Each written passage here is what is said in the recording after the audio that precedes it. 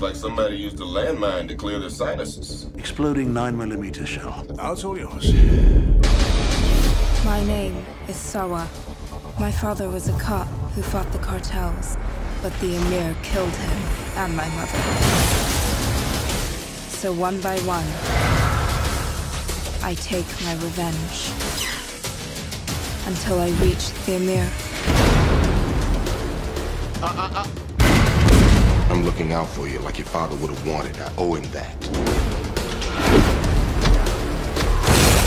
Find the girl.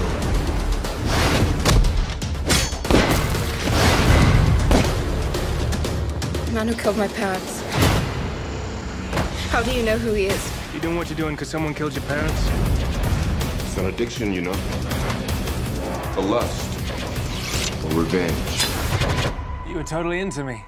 Don't even.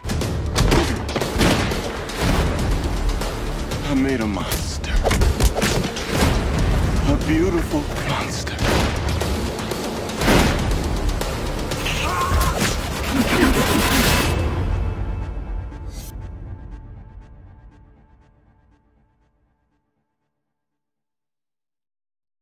Hey, what's up everyone? Valerie here with news on Dwayne Johnson and his undisclosed DC Comics movie role. The Rock recently confirmed he's joining DC and hinted that his character will have the same powers as Superman. All you have to do is say his name.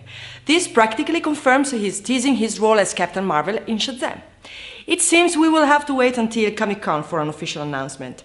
Shazam com- comes to theaters in 2016 and will be directed by Peter Segal.